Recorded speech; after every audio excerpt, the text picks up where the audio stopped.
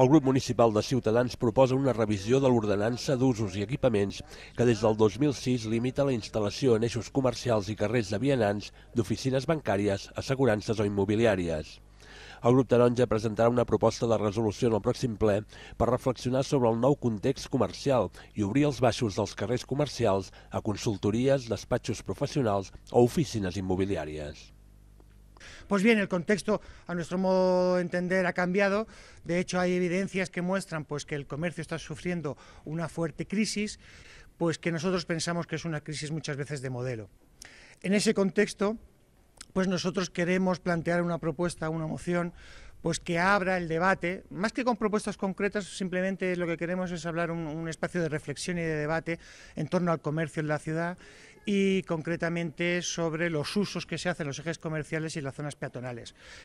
Com a exemple, Ciutadans posen el carrer Sant Pere al carrer de vianants per excel·lència al centre de la ciutat, d'uns 140 metres i en l'actualitat amb 14 locals comercials tancats. L'ordenança d'usos i equipaments es va fer ara fa 17 anys per regular l'activitat comercial perquè els carrers de vianants no es veiessin sense activitat, sobretot per les tardes o en festius i caps de setmana. Ara la revisió que proposa Ciutadans va més enllà de la modificació puntual de l'ordenança i busca una reflexió global sobre els nous models de comerç i que més varietats d'activitat comercial es puguin instal·lar en els eixos comercials per a vianants.